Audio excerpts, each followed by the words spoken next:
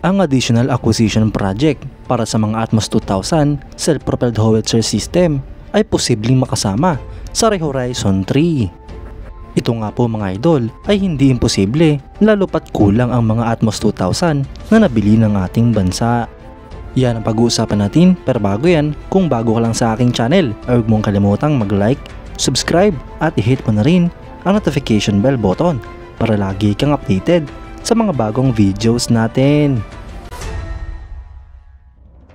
Base nga po sa mga impormasyon na kumakalat sa social media, ay pinaplano nga po ng Philippine Army na dagdagan pa ang Atmos 2000 self-propelled howitzer system ngayong aprobado na ang malaking pondo para sa Horizon 3.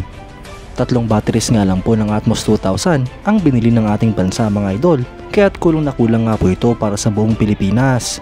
Kung matutuloy nga po ito mga idol ay siguradong malaki ang mayaambag nito sa ating bansa lalo pat mas magiging moderno ang ating mga kagamitan. Karamihan nga po sa ibang mga bansa ay mga self-propelled howitzer system na ang ino-operate at hindi na ang tradisyonal na towed howitzer. Mas advanced nga po ang kagamitan na ito mga idol at mas madaling na ita-transport sa iba't ibang mga lugar. Ang Atmos 2000 mga idol autonomous truck mounted howitzer system ay isang 155mm 52 caliber self-propelled gun na minamanufacture ng Israeli military manufacturer na Sultam Systems. Ang SIM na ito mga idol ay range fast moving truck mounted with higher firepower and mobility, rapid deployment, short response time at operable sa lahat ng terrain areas. Ang system nga po nito mga idol ay integrated ng fully computerized at nagpo-provide ng automatic control, accurate navigation at target acquisition. Ang system na ito mga idol ay ino-offer sa iba't ibang gun barrel lengths simula 39 hanggang 52 caliber. Ito nga po ay upang mamit ang iba't ibang customer requirements. Ang development nga po sa Atmos 2000 mga idol ay nagsimula noong 2001 nung ang Sultam Systems ay naglabas ng detalye para sa latest version ng Atmos 2000 na kasalukuyan na nag-exist sa panahong iyon noong late 1999.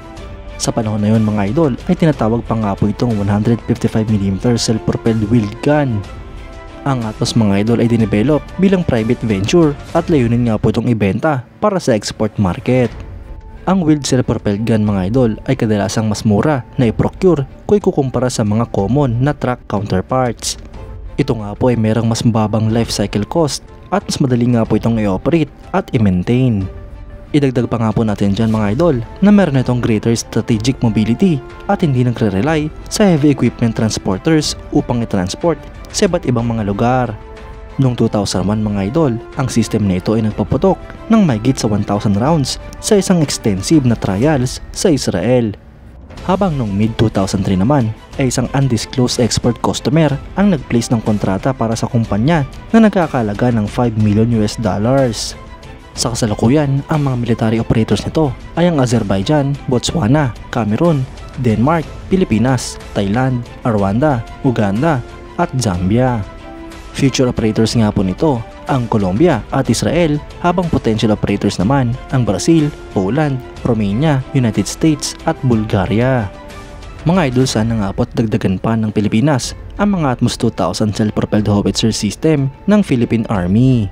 Hindi pa nga po sapat ang mga naunang binili ng ating bansa at kailangan pa nga po itong paramihin. Ito nga po mga idol ay nangangahulugan lamang na epektibo ang modernization program dahil lalong dumadami ang mga modern assets ng ating bansa. Ang mga ito nga po ay mas malakas at mas advanced kung ikukumpara sa mga kasalukuyan ng ginagamit ng ating bansa. Mas epektibo nga rin po ito mga idol dahil mas napapadali ang mga misyon ng AFP. Kaya dahil nga po sa modernization program ng AFP ay mas nagiging solido ang ating depensa at mas lumalakas ang puwersa ng Pilipinas. Kaya't sabay-sabay nga po nating antayin ang mga susunod pang updates patungkol sa proyektong ito mga idol. Kayo mga idol, anong masasabi nyo? Comment down below for your thoughts and opinions. At yan nga lang po ang pag-uusapan natin ngayon mga idol. Maraming salamat sa panonood. Huwag nyo rin kalimutang mag-like at subscribe bilang suporta sa ating channel. Mabuhay kayo mga idol!